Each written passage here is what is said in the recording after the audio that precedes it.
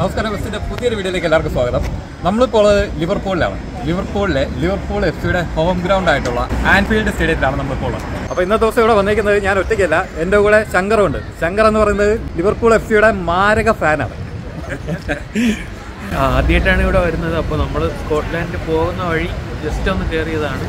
അപ്പോൾ നമ്മൾ കുറച്ച് നിൽക്കുന്നതെന്ന് വെച്ചാൽ ഹോം ഫാൻസ് ഇരിക്കുന്ന ഒരു മെയിൻ സ്റ്റാൻഡിലാണ്. ഇവിടെ കോപ്പ് എന്ന് പറയും. ഇവിടെയാണ് എപ്പോഴും ലിവർപൂൾ എഫ് സി ജയിക്കുമ്പോൾ ഗെയിം മാച്ച് കഴിയുമ്പോൾ ഇപ്പോഴത്തെ കോച്ചായ യുവർഗൻ ക്ലോപ്പ് ഫിസ്റ്റ് വെച്ചിട്ട് തമ്പ് ചെയ്യും ത്രീ ടൈംസ് അതൊരു അവരുടെ ഒരു ഒരു മെയിൻ സംഭവമാണ് എല്ലാ കളിയും ജയിച്ചു കഴിഞ്ഞ് കഴിഞ്ഞാൽ അത് ചെയ്യും. അപ്പോൾ ആ ഓരോ ഫിസ്റ്റ് തമ്പ് ഫിസ്റ്റ് ചെയ്യുമ്പോഴും ഹോം ഫാൻസ് നല്ല ചിയറിങ് ആണ്. അത് നമ്മളെപ്പോഴും കാത്തിരിക്കുന്ന ഒരു സംഭവമാണ് മാച്ച് കഴിഞ്ഞ്.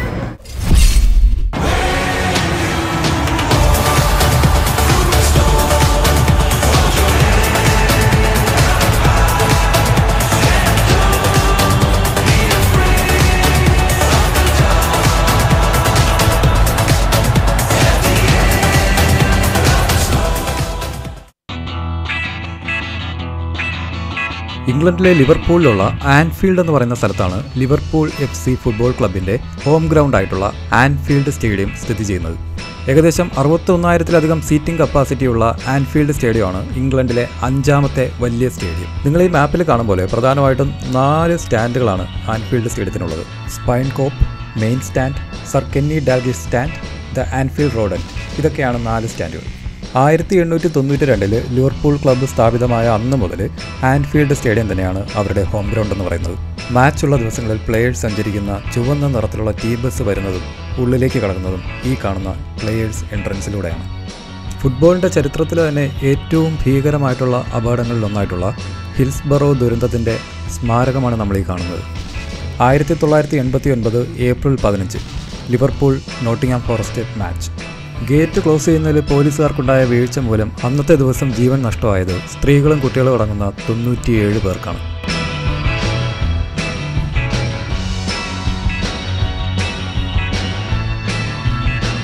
മെമ്മോറിയൽ കഴിഞ്ഞ് കുറച്ചുകൂടെ മുന്നിലേക്ക് ചെല്ലുമ്പോൾ ഇടതുവശത്തായിട്ട് നമുക്ക് കാണാൻ കഴിയുന്നത് മെൽവുഡ് ലോഞ്ച് എന്ന് പറയുന്ന ഒരു പ്രീമിയം എക്സിക്യൂട്ടീവ് ലോഞ്ചാണ്. ലോഞ്ചിന്റെ ഓപ്പോസിറ്റ് സൈഡിലായിട്ട് ക്ലബിന്റെ സ്ഥാപകനായ ജോൺ ഹോൾഡിങ്ങിന്റെ ഒരു പ്രതിമയും സ്ഥാപിച്ചിട്ടുണ്ട്. മാച്ച് ഇല്ലാത്ത ദിവസങ്ങളിൽ നമുക്കിവിടെ സ്റ്റേഡിയം ടൂർ പ്രോഗ്രാംസ് അവൈലബിൾ ആണ്. ടിക്കറ്റ്സ് നമുക്ക് ഓൺലൈനായിട്ടോ നേരിട്ടോ ബുക്ക് ചെയ്യാം. പക്ഷേ ഓൺലൈനായിട്ട് ബുക്ക് ചെയ്യുന്നതായിരിക്കും നല്ലത്. കാരണം പെട്ടെന്ന് തന്നെ ടിക്കറ്റ്സ് സോൾഡ് ഔട്ട് ആവാറുണ്ട്. അഡൽട്സിന് ഇരുപത്തിമൂന്ന് പൗണ്ടും സീനിയേഴ്സിനും അല്ലെങ്കിൽ സ്റ്റുഡൻസിന് പതിനെട്ട് പൗണ്ടും പതിനാറ് വയസ്സിന് താഴെയുള്ള കുട്ടികൾക്ക് പതിനാല് പൗണ്ടുമാണ് ടിക്കറ്റ് റേറ്റ് വരുന്നത്. നാല് വയസ്സ് വരെയുള്ള കുട്ടികൾക്ക് ഫ്രീ എൻട്രിയാണ് ഇതാണ് ദ ചാമ്പ്യൻസ് ബോൾ. ക്ലബിന്റെ അച്ചീവ്മെന്റ്സിനൊപ്പം തന്നെ തൊട്ട് താഴെയായിട്ട് നിങ്ങൾക്ക് ഒരു ഫോട്ടോ മൊസൈക്ക് കാണാൻ പറ്റും. ഇതൊരു പ്രത്യേകതയുള്ള ഒരു ഡിജിറ്റൽ മ്യൂറലാണ്. നിങ്ങൾ അയച്ചു കൊടുക്കുന്ന ഫോട്ടോസ് അവർ സ്പെഷ്യൽ സോഫ്റ്റ്വെയർ വഴി കമ്പൈൽ ചെയ്ത് കളർ പാറ്റേൺ മാച്ച് ആവുകയാണെങ്കിൽ അവരതിനെ ഈ വേൾഡിൽ പബ്ലിഷ് ചെയ്യും. തീർച്ചയായിട്ടും നിങ്ങളൊരു ലിവർപൂൾ ഫാൻ ആണെങ്കിൽ നിങ്ങളെ സംബന്ധിച്ച് അതൊരു ലൈഫ് ടൈം അച്ചീവ്മെന്റ് തന്നെയായിരിക്കും. പക്ഷേ ഈ പെയിന്റിങ് ഓൾറെഡി കംപ്ലീറ്റ് ആയി കഴിഞ്ഞു. ഇനി അവർ പുതിയ എൻട്രീസ് ഒന്നും സ്വീകരിക്കുന്നുമില്ല. അപ്പോൾ ഞങ്ങൾ അവിടെ നിൽക്കുന്ന സമയത്ത് തന്നെ ഒരു ഫാമിലി അവിടെ വന്ന് അവരുടെ ചിത്രങ്ങളൊക്കെ നോക്കുന്നുണ്ടായിരുന്നു. അവരതിനകത്ത് അവരുടെ ഫാമിലി ഫോട്ടോ കണ്ടുപിടിക്കുകയും ചെയ്തു.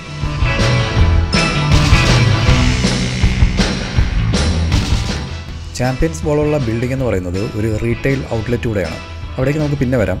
അതിനു മുന്നേ നമ്മളിപ്പോൾ കാണാൻ പോകുന്നത് ദ കോപ്പ് എന്ന് പറയുന്ന ആ ഒരു മെയിൻ സ്റ്റാൻഡിനടുത്തേക്കാണ്. അതിനോട് ചേർന്ന് തന്നെയാണ് മാച്ച് ടിക്കറ്റ്സിന്റെ ബുക്കിംഗ് ഓഫീസും ഉള്ളത്. അതിന്റെ തൊട്ട് മുകളിലായിട്ട് തന്നെ you will never walk alone എന്നുള്ള ആരാധകർ നെഞ്ചോട് ചേർത്ത് പിടിക്കുന്ന ആ ഒരു നാല് വാക്കുകളുടെ ചുരുക്കെഴുത്തും കാണാൻ പറ്റും. ഇന്നത്തെ ദിവസം ഇവിടെ മാച്ചൊന്നും ഇല്ലാത്തതുകൊണ്ട് തന്നെ ടിക്കറ്റ് ബുക്കിംഗ് ഓഫീസ് എല്ലാം ക്ലോസ്ഡ് ആണ്. നിങ്ങൾ എപ്പോഴെങ്കിലും മാച്ച് കാണണം എന്നുള്ള ഉദ്ദേശത്തോടു കൂടിയാണ് വരുന്നതെങ്കിൽ തീർച്ചയായിട്ടും നേരത്തെ ബുക്ക് ചെയ്തിട്ട് തന്നെ വരിക. കാരണം ഇവിടെ വന്ന് ടിക്കറ്റ് എടുക്കുക എന്ന് പറയുന്നത് ഒരു ടാസ്ക് തന്നെയാണ്. ക്ലബിന്റെ പ്രീവിയസ് ഓണേഴ്സിൽ ഒരാളായ ബിൽ ഷാങ്ക്ലിയുടെ പ്രതിമയാണിത്. അദ്ദേഹത്തോടുള്ള ആദരസൂചകമായിട്ട് ദ കോപ്പിന്റെ വാതിലിനടുത്ത് തന്നെയാണ് ഈ പ്രതിമ സ്ഥാപിച്ചിരിക്കുന്നത്.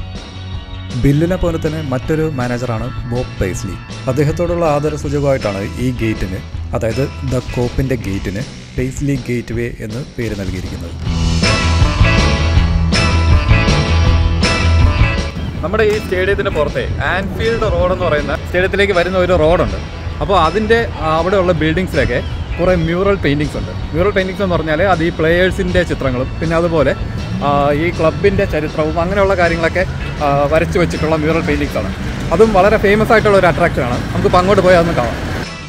ആദ്യമായിട്ട് നമ്മൾ കാണാൻ പോകുന്നത് വെൽഷ് പ്ലെയർ ആയിട്ടുള്ള ഇയാൻ ജെയിംസ് റഷ്യന്റെ മ്യൂറലാണ് ആയിരത്തി തൊള്ളായിരത്തി എൺപത് തൊട്ട് എൺപത്തി ആറ് വരെയും എൺപത്തി എട്ട് മുതൽ ആയിരത്തി തൊള്ളായിരത്തി തൊണ്ണൂറ്റി ആറ് വരെയുമാണ് ഇയാൻ ലിവർപൂളിന് വേണ്ടി കളിച്ചിട്ടുള്ളത്.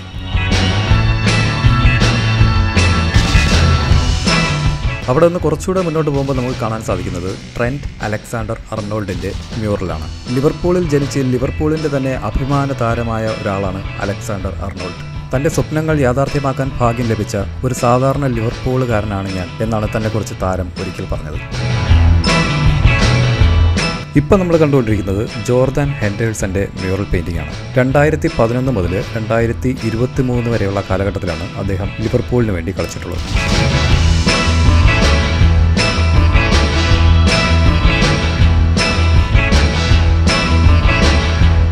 ഞങ്ങളുടെ ഭയങ്കരമായിട്ട് എൻജോയ് ചെയ്ത ഒരു ആക്ടിവിറ്റിയാണ് കേട്ടോ ഇത്. കാരണം ഓരോ മ്യൂറൽസും എവിടെയാണെന്ന് നമുക്ക് യാതൊരു ഐഡിയ ഇല്ല. അപ്പോൾ നമ്മൾ മാപ്പ് നോക്കിയിട്ടോ അല്ലെങ്കിൽ നമ്മളിങ്ങനെ എക്സ്പ്ലോർ ചെയ്ത് കണ്ടുപിടിക്കണം. ഓരോന്നും ഏത് ബിൽഡിങ്ങിന്റെ ഏത് ഭാഗത്താണെന്നുള്ളത്.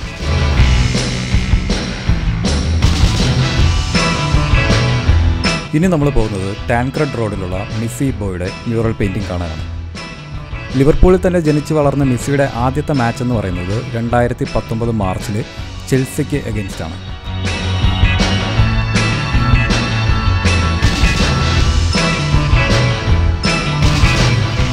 സ്കോട്ടിഷ് ഫുട്ബോൾ പ്ലെയറും ലിവർപൂൾ എഫ് സിയുടെ മുൻ മാനേജറുമായിട്ടുള്ള ബിൽ ഷാങ്ക്ലിയുടെ മ്യൂറലാണ് നമ്മൾ ഈ കാണുന്നത്.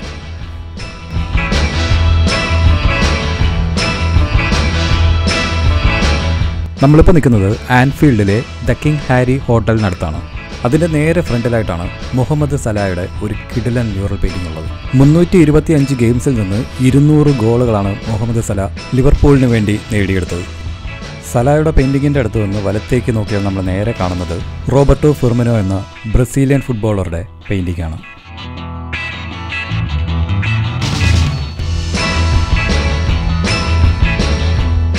അപ്പോൾ ഇതൊക്കെയാണ് നമ്മുടെ ആൻഫീൽഡ് റോഡിലെ മ്യൂറൽ പെയിന്റിങ്സ് എന്ന് പറയുന്നത്. ഇപ്പോൾ അറൗണ്ട് ഒരു പത്ത് പതിനഞ്ചെണ്ണം ഉണ്ട് എന്നാണ് നമ്മൾ കേട്ടിട്ടുള്ളത്. പക്ഷേ നമുക്ക് ഒരു ആറ് എണ്ണം മാത്രമേ ഇപ്പോൾ കാണാനും കവർ ചെയ്യാനും പറ്റുള്ളൂ. അത് മാത്രമല്ല ഇന്നത്തെ ദിവസം ഭയങ്കര തണുപ്പാണ്. അതുപോലെ മഴയുടെ ലക്ഷണമുണ്ട്. അപ്പോൾ ഇനിയും കറങ്ങി കിടന്നാൽ നമ്മൾ ഒരു വഴിയാവും. അപ്പോൾ അതുകൊണ്ട് ഞങ്ങൾ ഇത്രയും കണ്ടു. തിരിച്ചു പോരുകയാണ്.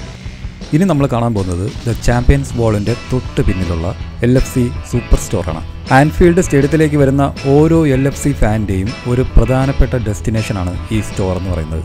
കാരണം എൽ എഫ് സിയുടെ ഒഫീഷ്യൽ ബ്രാൻഡിംഗ് ഉള്ള എല്ലാ ആക്സസറീസും നിങ്ങൾക്ക് ഇവിടെ നിന്ന് വാങ്ങാൻ സാധിക്കും.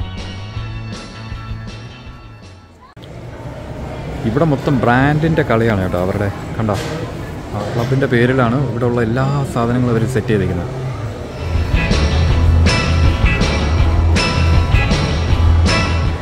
ഇതാണ് home jersey home jersey authentic സാധനമാണ് അതിനകത്ത് തന്നെ വർക്കുകളുണ്ട്. ഓ അടിപൊളി അല്ലേ? ആ ക്വാളിറ്റി കാണാനുണ്ട് അത്. എത്ര രൂപ അത്? ഇത് നൂറ്റി പതിനാല് നൂറ്റി പതിനാല് നൂറ്റി പതിനാല് പൗണ്ട് എന്ന് പറയുന്നത് പതിനൊന്നായിരത്തി നാനൂറ് ഇന്ത്യൻ രൂപയാണ്. വേറെ സ്റ്റേഡിയം ജേഴ്സി ഉണ്ട് പക്ഷേ അത് കുറച്ചുകൂടെ ചീപ്പാണ് അതിന് വർക്കൊന്നുമില്ല. ആ അത് പ്ലെയിൻ ആയിട്ടുള്ള തുണിയാ അല്ലേ? മറ്റേ വെച്ച് കമ്പയർ ചെയ്യുമ്പോൾ ആ ഒരു ക്വാളിറ്റി ഇതിനില്ല.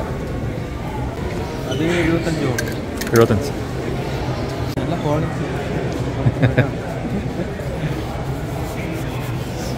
ഓ നൂറ്റി പതിനാല് പൗണ്ട്. ഒരു പൗണ്ട് എന്ന് പറയുന്നത് ശരാശരി നൂറ് ഇന്ത്യൻ രൂപയാണ്. അപ്പോൾ ഇനി മുതൽ അങ്ങോട്ട് ഞാൻ പൗണ്ടിന്റെ കണക്ക് പറയുമ്പോൾ നിങ്ങൾ അതിനെ നൂറ് രൂപ എന്നുള്ള കണക്കിൽ കാൽക്കുലേറ്റ് ചെയ്യണം കേട്ടോ. ഉപയോഗിക്കുന്നത് ഇത് അവരിടയ്ക്ക് ഉപയോഗിക്കണം യൂസ് ചെയ്യും. എവയ്ക്ക് മാത്രമേ യൂസ് ചെയ്യൂ. അവരുടെ മെയിൻ ഇതാണ്. പച്ചയും വെള്ളയും. ഓക്കെ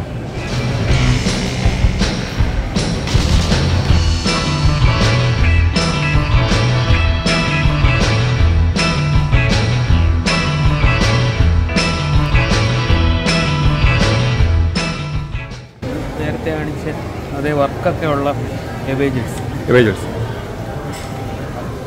സെയിം റേറ്റ് തന്നെ നൂറ്റി പതിനാല് ഓ അപ്പോൾ ഹോം ജേഴ്സി ഇവേ ജേഴ്സി എല്ലാം സെയിം പ്രൈസാണ്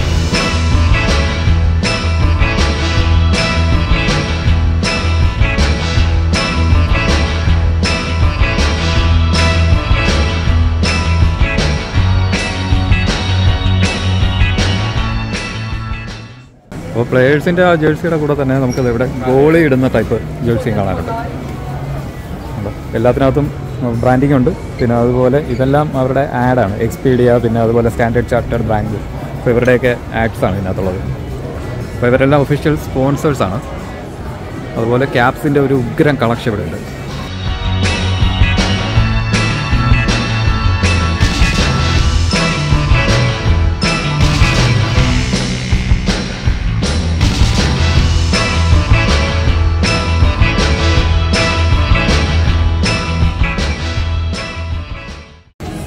ഇരുപത്തിരണ്ടര പൗണ്ടാണ് വരുന്നത്. ഇതിന് ഇരുപത് പൗണ്ട്. ഇതിന് ഇരുപത്തഞ്ച് പൗണ്ടാണ് ഈ ബ്ലൂ കളർ ക്യാപ്പ്.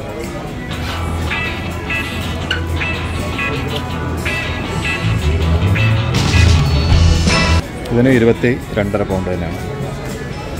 ജേഴ്സിയും ക്യാപ്സും കൂടാതെ നമുക്ക് ഫുട്ബോൾസ് ഷൂസ് പിന്നെ പല വെറൈറ്റിയിലുള്ള ജാക്കറ്റ്സ് ഇങ്ങനെ കുറേ കിട്ടിലും കളക്ഷൻസും കൂടെ കാണാൻ പറ്റും.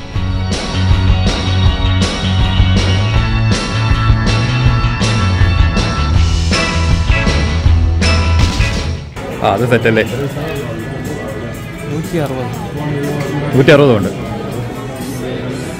ഇതുണ്ട് ഈ ജാക്കറ്റിന് നൂറ്റി അറുപത് പൗണ്ടാണ് വില വരുന്നത്. നൂറ്റി അറുപത് പണ്ടെന്ന് പറയുമ്പോൾ നമ്മുടെ ഇന്ത്യൻ റുപ്പിയിൽ ഏകദേശം പതിനാറായിരം രൂപയിലധികമാണ് പ്രൈസ് വരുന്നത്. ഭയങ്കര കോസ്റ്റ്ലി ആണല്ലേ പക്ഷേ അത് ബ്രാൻഡിന്റെ ആണ്. ആ അതിന്റെ കൂടെ തന്നെ വേറെ എന്താ ഒരു സാധനം വരുന്നല്ലോ സുവനിയറാണോ. സുവനിയർ അപ്പോൾ നമ്മൾ അപ്പുറത്ത് കണ്ടത് ജെൻസിന്റെ വലിയ ആൾക്കാരുടെയൊക്കെ ആണെങ്കിൽ ഈ സൈഡിൽ കുട്ടികളുടെ ജേഴ്സിയൊക്കെയാണ് ഇവിടെ ഉള്ളത്. അതുപോലെ വുമൺസിന്റെ ഒരു കളക്ഷനും ഈ സൈഡിൽ തന്നെ ഉണ്ട്.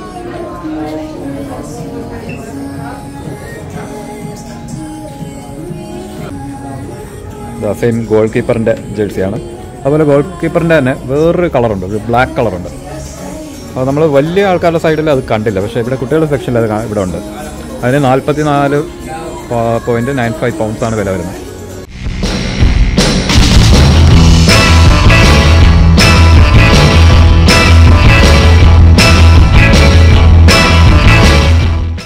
ഇനി ജേഴ്സിയുടെ സെക്ഷൻ കഴിഞ്ഞിട്ട് നമ്മൾ ഇപ്പുറത്തേക്ക് വരുമ്പോഴേ ഇവിടെ ഫുള്ള് ടോയ്സ് ചെറിയ സോവനേഴ്സ് അങ്ങനെയുള്ള സാധനങ്ങളൊക്കെ. ഇതുണ്ടോ പ്ലെയേഴ്സിന്റെ എല്ലാം ഒരു മിനിയേച്ചർ രൂപമാണിത്.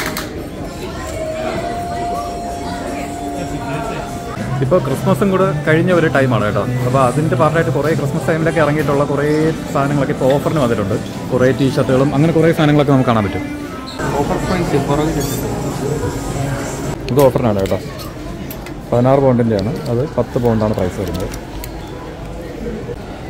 കുറേ സാധനങ്ങളൊക്കെ അത്യാവശ്യം ഓഫറിനുണ്ട് കേട്ടോ. ഇത് ഈ ടീഷർട്ട് പത്ത് പൗണ്ടിന്റെയാണ് കുട്ടികളുടേത്. അതിന് ആറ് പൗണ്ടേ ഉള്ളൂ ഇപ്പോൾ ഓഫറാണ് അതിനകത്ത് ലോഗോ വരുന്ന ടീഷർട്ട്സാണ്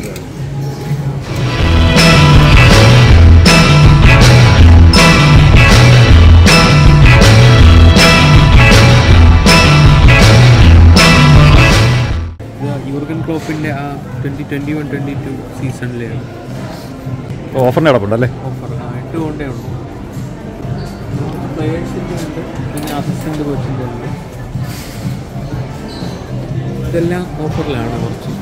കുറേ ഓഫറിനുണ്ട് കേട്ടോ. ഇപ്പോൾ കുറേ സാധനങ്ങൾ തുണികളാണെങ്കിലും കളിപ്പാട്ടങ്ങളൊക്കെ ആണെങ്കിലും ഇഷ്ടംപോലെ ഓഫറുണ്ട്.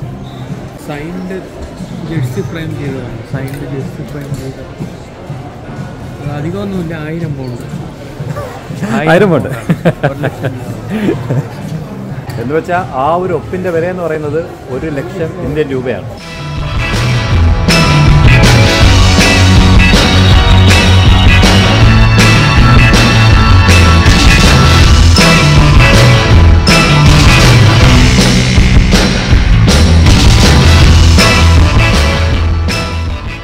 നമ്മൾ ഫാൻസി ഐറ്റം കണ്ടു. വീടൊക്കെ വാങ്ങിക്കുവാണെങ്കിൽ പുതിയ വീട്ടിലൊക്കെ വയ്ക്കാൻ ഗിഫ്റ്റൊക്കെ കൊടുക്കാൻ ചെവറിൽ സെറ്റ് ചെയ്യുന്നത്. ഓ അടിപൊളിയല്ലേ? ഇത് പല പീസാണ് കേട്ടോ. ഇത് നാല് എട്ട് പീസുള്ള ഒരു ആർട്ടാണ് ശരിക്കും നാൽപ്പത് കൊണ്ടാണ്. ഇപ്പോൾ ഓഫറിന് മുപ്പത്തി ആറ് കൊണ്ട്. നേരത്തെ നമ്മൾ കോച്ചിന്റെ കണ്ടു. അതൊക്കെ പോയി. അതിപ്പോൾ കാണുന്നില്ല. ഈ ഓൾറെഡി സോൾഡ് ഔട്ട് ആയിരുന്നു ശരിക്കും ഒരു പത്ത് മിനിറ്റ് അല്ലേ? നമ്മൾ ഇവിടെ നിന്ന് ഇതെല്ലാം കണ്ടുവച്ചിട്ട് പോയി ഒരു പത്ത് മിനിറ്റ് കഴിഞ്ഞ് തിരിച്ച് വന്നപ്പോഴത്തേക്കും അതെല്ലാം പോയി കഴിഞ്ഞു. ഇത് ശരിക്കും ഇതാണ് അതിന്റെ ചിത്രം എന്ന് പറയുന്നത്. ഇത് വാൾ പെയിന്റിംഗ് ആണ്. പക്ഷേ അതിന്റെ പ്രത്യേകത എന്ന് പറയുന്നത് ഇത് കണ്ടോ? ഇതിപ്പോൾ ഇതിങ്ങനെ ജിപ്സോ പസിൽ പോലെയാണ്. ഓരോന്നും ഓരോ കോളമുണ്ട് അപ്പോൾ അതിനനുസരിച്ചിട്ടുള്ള പെയിന്റ് ബോട്ടിൽസ് ഇതിനകത്ത് കൊടുത്തിട്ടുണ്ട്. അപ്പോൾ ഓരോ പെയിന്റും ഏത് കുളത്തിൽ ഏത് കളറിലാണ് വരേണ്ടത്? ഏത് നമ്പറിലാണ് വരേണ്ടതെന്ന് പറഞ്ഞിട്ടുണ്ട്. അപ്പോൾ നമ്മളത് അനുസരിച്ച് പെയിന്റ് എടുക്കുകയാണെങ്കിൽ ഫിനിഷ് ചെയ്യുന്ന പടം എന്ന് പറയുന്നത് ഇതാ ഇതുപോലെ ഇരിക്കും. എന്റെ കൂടെ കോഫി മഗ്ഗൊക്കെ ഉണ്ട്. കോഫി മഗ് മഗ്ഗുണ്ട്. ഇതെന്തായിരുന്നു സാധനം? ടവലാന്ന് തോന്നുന്നു. പിന്നെ ഒരു ക്യാരി ബാഗ് ഉണ്ട്. ക്യാരി ബാഗ് പത്തൊമ്പത് പൗണ്ടാണ് ഇരുപത്തിരണ്ട് പൗണ്ടാണ് ശരിക്കുള്ള വില.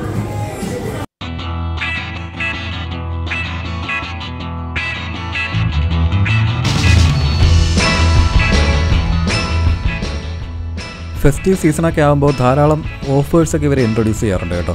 ഇപ്പം നമ്മൾ ഈ കടയിൽ കാണുന്ന ആ ഒരു ഡിസ്കൗണ്ട്സും കാര്യങ്ങളൊക്കെ ക്രിസ്മസുമായിട്ട് അനുബന്ധിച്ച് വരുന്ന ഓഫേഴ്സാണ് രണ്ടായിരത്തി പതിനേഴ് ഓഗസ്റ്റ് പതിനാലാം തീയതി സ്റ്റാർട്ട് ചെയ്ത ഈ ഷോപ്പ് എന്ന് പറയുന്നത് പത്തൊമ്പതിനായിരത്തി അഞ്ഞൂറ് സ്ക്വയർ ഫീറ്റിൽ രണ്ട് നിലകളിലായി പരന്നു കിടക്കുന്ന ഒരു വമ്പൻ സ്റ്റോറാണ് ഷോപ്പിൽ നിന്ന് നേരിട്ട് വാങ്ങുന്നതല്ലാതെ store dot Liverpool F C dot com എന്ന് പറയുന്ന ഇവരുടെ വെബ്സൈറ്റ് വഴിയും നമുക്ക് ഈ പറയുന്ന സാധനങ്ങളെല്ലാം മേടിക്കാൻ പറ്റും. നമ്മളിപ്പോൾ നിൽക്കുന്നത് നമ്മൾ ആ താഴെ കണ്ട ഷോപ്പില്ല അതിന്റെ മുകളിലുള്ള ഒരു കഫേ ഏരിയയിലാണ് കേട്ടോ. അപ്പോൾ ഈ സൈഡിലാണ് കഫേ വരുന്നത്. കഫേയുടെ അടുത്തായിട്ട് തന്നെ നമുക്ക് തന്നെ ഡ്രസ്സിംഗ് റൂമിന്റെ മോഡലിലുള്ള അതായത് ആക്ച്വൽ ഡ്രസ്സിംഗ് റൂമിന്റെ മോഡലിലുള്ള ഒരു ഏരിയ ഉണ്ട്. അപ്പോൾ അവിടെ. ഓരോ ആൾക്കാരുടെയും പേരുണ്ട് അവരുടെ ജേഴ്സി ഉണ്ട്. അപ്പോൾ നമ്മുടെ ആക്ച്വൽ റൂമിലാണെങ്കിൽ അതിന്റെ തൊട്ട് താഴെയായിട്ട് തന്നെ അവരുടെ ബൂട്ടും ബാക്കിയുള്ള ആക്സസറീസ് എല്ലാം വെച്ചിട്ടുണ്ടാവും. അപ്പോൾ നമുക്കിപ്പോൾ അത് സ്റ്റേഡിയത്തിനകത്താണ് നമുക്ക് അവിടെ കയറാൻ പറ്റില്ല. അതിന്റെ സെയിം ഒരു മോഡലാണ് ഇവിടെ അവർ ക്രിയേറ്റ് ചെയ്തത്.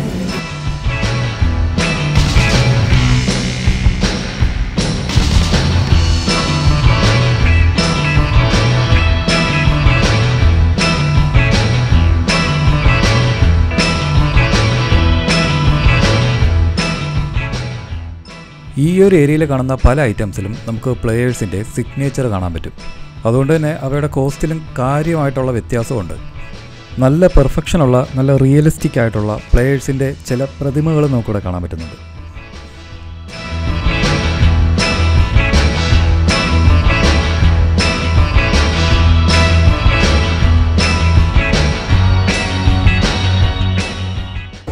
അങ്ങനെ താഴെയുള്ള സെയിം സാധനങ്ങളാണ്. അതോ വ്യത്യാസമുണ്ട്? അത് വ്യത്യാസമുണ്ട്. ഉണ്ട്. കുറച്ചുകൂടെ പ്രീമിയം ആണെന്ന് തോന്നുന്നു അല്ലേ ഇവിടുത്തെ?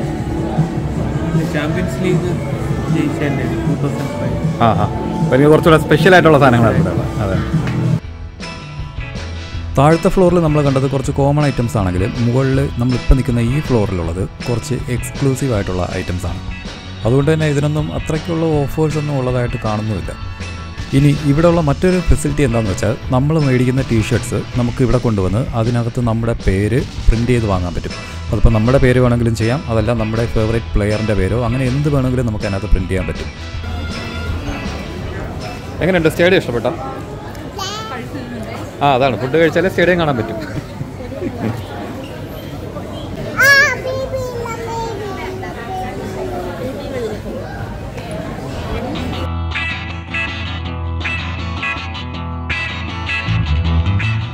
സ്റ്റോറിനകത്ത് തന്നെയുള്ള ഈ ഒരു ചെറിയ കോഫി ഷോപ്പിൽ നിന്ന് നമുക്ക് അത്യാവശ്യം വേണ്ടുന്ന കുറച്ച് സ്നാക്സോ വെള്ളമോ ചായ അങ്ങനെയുള്ളതൊക്കെ വാങ്ങാൻ പറ്റും. ഞങ്ങളെ അതിശയപ്പെടുത്തിയ കാര്യം എന്താണെന്ന് വെച്ചാൽ പുറത്തുനിന്ന് വാങ്ങുന്നതിനേക്കാളും റേറ്റ് കുറവാണ് ഇതിനകത്ത് ഫുഡ് ഐറ്റംസിന് എന്നുള്ളതാണ്. ആൻഫീൽഡിലേക്ക് എത്താനായിട്ട് ഏറ്റവും അടുത്തുള്ള റെയിൽവേ സ്റ്റേഷൻ എന്ന് പറയുന്നത് ലിവർപൂൾ ലൈം സ്ട്രീറ്റ് ആണ്. വെറും മൂന്ന് കിലോമീറ്റർ മാത്രം അകലെയാണ് ഈ സ്റ്റേഷൻ ഉള്ളത്. അപ്പോൾ നിങ്ങളിവിടെ ഡ്രൈവ് ചെയ്ത് വരുന്ന ഒരാളാണെങ്കിൽ നമുക്ക് ഇതിന്റെ ഫ്രണ്ടിൽ തന്നെ ഇവിടെ ഒരു കാർ പാർക്ക് ഉണ്ട്. ഇതിന് സ്റ്റാൻലി പാർക്ക് കാർ പാർക്ക് എന്നാണ് പറയുന്നത്. പക്ഷേ ഇവിടെ നമ്മൾ ഞങ്ങളുടെ കാർ ഇവിടെ പാർക്ക് ചെയ്തതിന് ശേഷം ഞങ്ങൾ സ്റ്റേഡിയത്തിലേക്ക് കയറി. പക്ഷേ നമുക്ക് ഇവിടെ ടിക്കറ്റ് എടുക്കാനുള്ള ഓപ്ഷൻസ് ഒന്നും കണ്ടില്ല. അപ്പോൾ എനിക്ക് തോന്നുന്നത് ഇവിടെ ഫ്രീ ആയിട്ടുള്ള പാർക്കിംഗ് ആണ് എന്നുള്ളതാണ്. പക്ഷേ നിങ്ങൾ വരുന്ന ആളാണെന്ന് ഉറപ്പാക്കണം കേട്ടോ. ശങ്കറിന്റെ ഒരു എക്സ്പീരിയൻസ് എന്തായിരുന്നു? നല്ല എക്സ്പീരിയൻസ് ആയിരുന്നു. നമുക്ക് നേരത്തെ പറഞ്ഞ പോലെ സ്റ്റേഡിയം ടൂറിനുള്ള ടിക്കറ്റ്സ് അവൈലബിൾ അല്ലായിരുന്നു. നമ്മൾ പുറത്ത് ഷോപ്സും എല്ലാ സ്റ്റാൻഡും വെളിയിൽ നിന്ന് കവർ ചെയ്തു.